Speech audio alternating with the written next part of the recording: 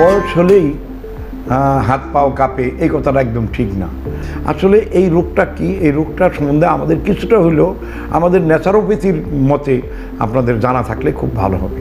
আমাদের যে ধারণা, বিজ্ঞানের সাথে আমরা মিল রেখে বলি যে ডোবামিন নামক একটি হরমোন যেই হরমোনটি শরীর থেকে বেশি নিঃসরণ হয়ে গেলে, প্রসাবের সাথে, পায়খানার সাথে, ঘামের সাথে, চোখের পানির সাথে, নাকের পানির সাথে সব ধরনের বাহিরের জিনিসের সাথে আমাদের শরীর থেকে ডোবামিন নামক হরমোনটি বের হয়ে যায়। এই হরমোনটি আমাদের শরীরের সম্পূর্ণ সুরক্ষাকে, শরীরের শক্তিকে সে যোগান দেয়। এই ডোবামিন এই হরমোনটি পাওয়া যায় যে কোনো ধরনের বীজের ভিতরে, কোনো কোনো বীজে বেশি, কোনো কোনো বীজে কম। যেরকম বাদাম একটি বীজ, আমি যদি জন্ম থেকে মৃত্যু পর্যন্ত প্রতিদিন কমপক্ষে পনেরো থেকে বিশ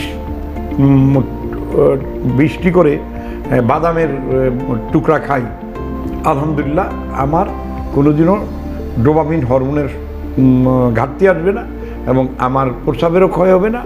আমার পায়খানার সাথেও ক্ষয় হবে না, আমার শরীরের শক্তির উৎস ঠিক থাকবে। বাদাম আমাদের খেতেই হবে। বাদাম বাদাম বাদাম। বাদামের খাওয়ার যদি বিকল্প কিছু করেন তাহলে আপনার শরীরে পার্কিংকিজম আসতে পারে। এক নম্বর। দুই নম্বরে হলো, আপনি প্রতিদিন সন্ধ্যায় দুই মুঠ বুট ভিজিয়ে রাখবেন।